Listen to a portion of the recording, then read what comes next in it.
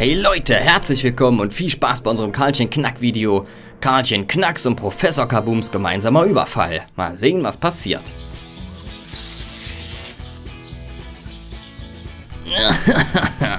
Damit werde ich Professor Kaboom heimzahlen. Für die Aktion mit dem Schaum gibt's bittere Rache. Wart nur ab. ich habe mir was richtig Schönes für dich überlegt. So, hiervon noch, davon und hiervon noch ein wenig. So. Okay, jetzt noch ein bisschen Tabasco. Extra scharf natürlich. Und rein damit. Okay, das sollte reichen. Eure Flasche ist sowieso leer. Karlchen! Ja, was? Was ist denn los, Liebling? Komm sofort hier hoch. Ich warte im Wohnzimmer auf dich. Okay, noch ein bisschen schrauben, ein bisschen hämmern. Und nun der letzte Feinschliff mit dem Schweißbrenner. Opa! Hala, was ist denn los? Ich habe keine Zeit. Ich arbeite hier an dem neuesten Streich für Karl... Äh, an meiner neuesten Errungenschaft. Komm bitte ins Wohnzimmer. Ich habe etwas zu besprechen. Oh je, oh je. Mein Leben sagte mir, wenn Frauen was besprechen wollen, dann ist es ernst. Hm. Was soll der Miss Carla? Warum muss ich zusammen mit diesem Opa hier sitzen? Wie bitte, ich, ein Opa? Was fällt dir ein, du respektloser Bengel? Hörst du das, Carla, wie dein zukünftiger Ehemann mit mir spricht? So unverfroren, also wirklich. Schluss, ihr beiden. Das ist ja nicht mehr auszuhalten mit euch. Ich habe euch ganz bewusst zusammengesetzt, damit ihr euch besser kennenlernt. Es kann ja wohl nicht ewig so weitergehen, dass ihr euch bekriegt. Die Streiche, die ihr euch gegenseitig spielt, sind überhaupt nicht lustig. Und sie treiben mich noch in den Wahnsinn. Okay, dann fangen wir am besten gleich mal an. Irgendwelche Gemeinsamkeiten werdet ihr ja wohl haben. Also, was ist eure Lieblingsfarbe? Meine Lieblingsfarbe? Oh, das ist doch glasklar. Die Farbe der Wissenschaft natürlich. Die Farbe der Wissenschaft? Was ist denn das für ein Kram? Sowas gibt's doch gar nicht. Meine Lieblingsfarbe ist natürlich braun, so wie deine Augen, Carla. Karlchen, du alter Schmeichler. Okay, dann zur nächsten Frage. Karlchen, was ist dein Lieblingstier? Mein Lieblingstier? Hm, überlegen. Ich würde sagen, der Waschbär. Der trägt nämlich schon von Hause aus eine Einbrechermaske. Cooles Tier. Ein Waschbär, wie primitiv. Mein Lieblingstier ist natürlich die Eule, denn sie steht für Wissen. Wie damals schon der Große. Ja, ja, ja, verschon uns bitte. Ignoranter Pöbel, du. Wie war das? Okay, okay, okay, okay, gut, gut, gut, gut. Äh, nächstes Thema. Was ist eure Lieblingsbeschäftigung? Oder euer Hobby? Hm. Hm. Ich, ich gehe gern klauen. Na bitte, da haben wir doch eine Gemeinsamkeit. Und ihr geht gefälligst heute Abend was zusammen klauen. Und zwar zusammen. Was? Wir sollen was klauen gehen? Zusammen? Carla, du kannst nicht verlangen, dass ich mit deinem Opa zusammen was mache. Der würde mich eh nur behindern. Wie bitte? Ich höre wohl nicht recht. Du wirst mich behindern. Na, warte, du Fossil.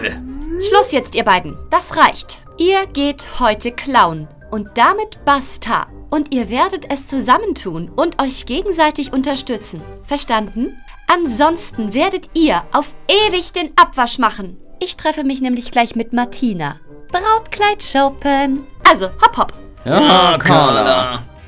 Nun gut, Karlchen, was hast du denn vor? Sei still, Opa. Jeden Moment wird hier ein Geldtransporter langfahren. Das habe ich neulich im Polizeifunk gehört. Schön und gut, aber was ist der Plan? Ganz einfach. Ich habe Dynamit unter der Straße befestigt. Wenn der Geldtransporter kommt, drücke ich auf diesen Knopf hier, das Dynamit explodiert und der Geldtransporter fährt in das Loch. Boom, ausrauben. Oh, so kompliziert und primitiv. Ich habe ja was viel Besseres. Das hier ist mein Schwebestrahlblaster. Damit kann ich den Geldtransporter, da er magnetisch ist, einfach in die Lüfte erheben und wir können ihn ausrauben. Denn die Wissenschaft katapultiert uns in die Zukunft. Ja, ja, lass stecken, Opa. Ich fange dann schon mal an. Und boom!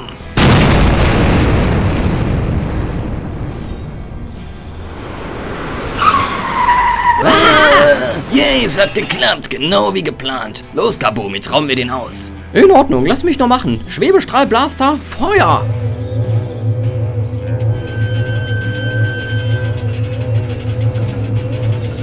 Nein, nein, Kaboom, was machst du denn da? Hör sofort auf damit.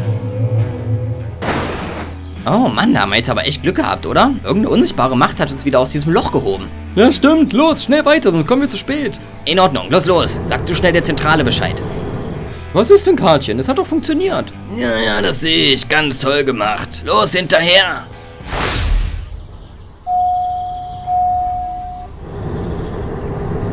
Oh Mann, jetzt auch noch eine rote Ampel. Los, Ampel, wir haben's eilig.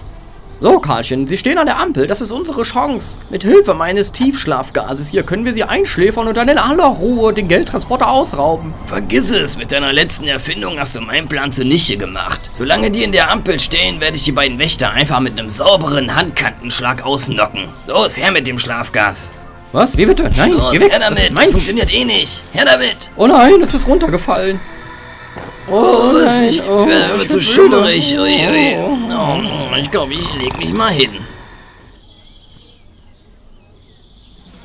Ja, Martina, ich bin gleich da. Keine Sorge. Und hast du schon eine Idee, wie das perfekte Brautkleid aussehen sollte? Also, ich dachte ja so an weiße Spitze und Tüll. Hm, Flügelärmel. Hey, stopp, stopp, stopp mal, Boss. Stopp. Schau mal. Ist das nicht diese Freundin von Karlchen, diese Carla? Hm, zeig mal. Oh ja, du hast recht, das ist sie. Was macht die denn hier draußen alleine ohne Karlchen? Meinst du nicht auch, das wäre die perfekte Idee, um Karlchen in die Finger zu kriegen? Guter Plan, Johnny. Gib mir mal deine Sonnenbrille, ich hab da eine Idee. Was, meine Sonnenbrille? Na gut, bist du dir sicher? Ja, ich bin mir sicher. Los, her die Brille und ab nach hinten mit dir. Du wirst schon merken. Ja, das ist eine tolle Idee. Mhm. Ich würde sagen, so machen wir es. Schönen guten Tag, mich. junge Dame. Entschuldigung. Oh, warte mal, Martina. Äh, können Sie mir bitte helfen? Eine so hübsche junge Frau wie Sie kennt sich doch bestimmt hier aus, oder? Sie Schmeichler, Sie? Können Sie mir helfen? Ich suche den Bahnhof. Können Sie mir vielleicht auf dieser Karte hier zeigen, wie ich da hinkomme? Aber natürlich, kein Problem. Zeigen Sie mir doch mal die Karte, dass ich es besser sehen kann. Jetzt, Johnny. In Ordnung. Und hab dich, Süße. Ich liebe es, wenn ein Plan funktioniert. Jetzt müssen wir nur noch Karlchen eine Nachricht hinterlassen. Gut, dann jetzt alles nur noch einladen. Dann haben wir es geschafft. Da sind Sie, Karlchen. Schnell jetzt, wir müssen uns beeilen. Dafür habe ich Folgendes. Vergiss es, Opa, keine Spielereien mehr. Du schnappst dir ein, ich schnapp mir ein und dann gibt's eine ordentliche Kopfnuss, verstanden? Nun gut, probieren wir's. In Ordnung, Chef. Wie gehen wir vor? Machen wir es wie immer? Ich hole den Tresor raus, Sie holen den Kahn und dann geht's rein. Ja, ganz genau. Weiß der Bankdirektor schon, dass wir da sind. Er muss ja schließlich die Ware entgegennehmen. Und wie sieht eigentlich unser Zeitplan aus? Wo müssen wir noch hin? Okay, Opa, bist du bereit? Ob ich bereit bin? Selbstverständlich, Karlchen. Und los! Hä? Was?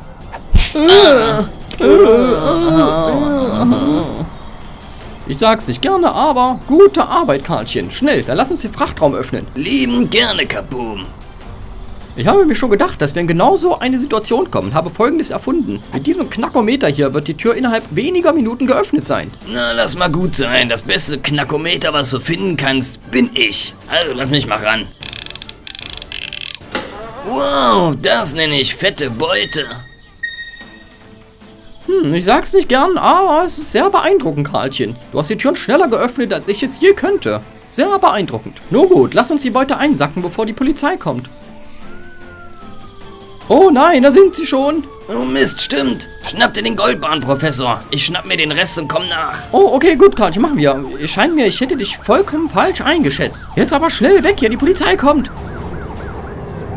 Stehen bleiben, ihr beiden. Ihr seid verhaftet. Oh, wie gut, dass du da bist, Toni. Zum Glück. Ah ja, Karlchen, natürlich. War ja klar, dass du das wieder bist. Also, was soll daran jetzt bitte gut sein? Schau her, Toni. Das hier ist Professor Kaboom, der, der neulich die Bank gesprengt hat. Er hat diesen Geldtransporter hier überfallen und ich habe ihn für dich aufgehalten, damit du ihn einbuchten kannst. Was sagst du da? Das ist eine Lüge. Karlchen, du mieser Verräter. Sorry, Kaboom, aber es kann nur einen geben. Na warte, das bekommst du wieder. Das wird ein Nachspiel haben. Aber fürs Erste, Wissenschaft katapultiert uns in die Zukunft. Gut, dann werde ich mal einen Abgang machen. Ach ja, und wie? Du bist ja förmlich schon festgenommen. Zum Glück habe ich immer einen Notfall-Jetpack dabei. Also dann, adieu. Karlchen, wir sprechen uns später. Tja, eins muss man ihm lassen. Der Mann hat echt Stil. Na gut, dann werde ich mal nach Hause gehen. Ab zu Carla. Carla, ich bin wieder da. Hallo? Carla? Hey, wo steckst du? Carla? Hm, na gut, ist bestimmt noch mit ihrer Freundin unterwegs. Hat sich bestimmt wieder beim Shoppen verloren oder irgendein Brautkleid im Sommerauskauf gefunden oder sowas. Ah, Telefon. Na, wenn das mal nicht Carla ist, die immer sagt, wie unglaublich lieb sie mich hat. Hey, Liebling, wo bleibst du denn? Karlchen, ich wollte mich heute mit Carla für das Brautkleid treffen. Ja, ja, das hat sie erzählt, dass ihr euch trefft für das Brotkleid. Aber sie ist noch nicht wieder hier. Wann kommt ihr denn wieder? Das ist es ja, Karlchen. Sie ist gar nicht erst aufgetaucht. Ich, ich mache mir Sorgen. Ich dachte, sie ist vielleicht zu Hause geblieben oder so. Weil, weil das sieht ihr ja gar nicht ähnlich. Hm, hast du recht, das ist überhaupt nicht Carla ähnlich. Wenn es um die Hochzeit geht, ist sie da hinterher wie ein Schießhund. Na gut, ich werde mich nochmal umhören. Ich melde mich später, danke. Hm, wo kann sie noch stecken? Sie hat sich doch so aufs Brautkleid shoppen gefreut. Oh nein, nicht der schon wieder. Karlchen, du elender Feigling, du hast mich an die Polizei verpfiffen. Das kann ich dir nicht verzeihen. Ja, aber leider hat es nicht geklappt und du gehst mir immer noch auf die Nerven. Na, wart's nur ab. Wenn ich Carla erzähle, wie du mich behandelt hast, dann setzt sie dich ruckzuck vor die Tür. Du wirst schon sehen. Jetzt halt mal die Luft an und hör mir zu, Opa.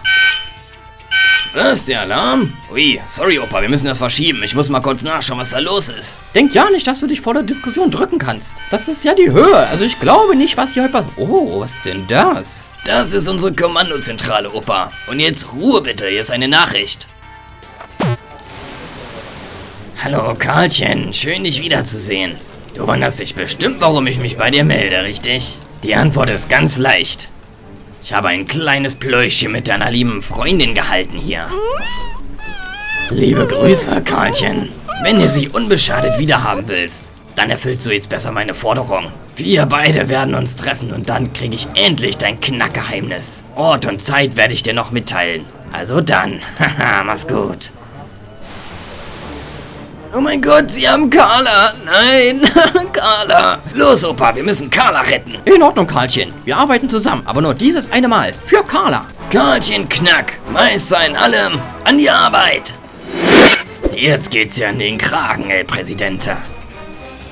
Wenn ihr wissen wollt, ob und wie wir Carla befreien, dann abonniert doch meinen Kanal, indem ihr links oben auf mein charmantes Lächeln drückt. Und wollt ihr direkt weiterschauen, klickt auf eins der beiden Videos rechts im Bild. Also dann Leute, macht's gut.